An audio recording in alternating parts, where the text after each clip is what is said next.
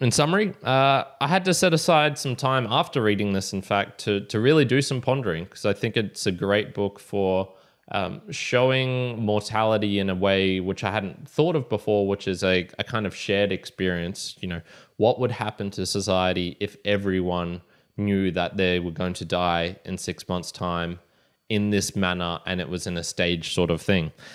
Uh, I think it's plus that he didn't overcomplicate matters. So there's no explanation of really why it happened or the, it, it's kind of just like here's the facts everyone's already acclimatized to it. You better, as the reader, acclimatize to it as well. I think that was a really nice way of setting up the book. I wouldn't say it's a fun read because it's kind of morbid. You're, you're just thinking about death and and dying, um, but it is very solid as well. So I'm going to give it a seven out of ten for On the Beach by Nevil Shute.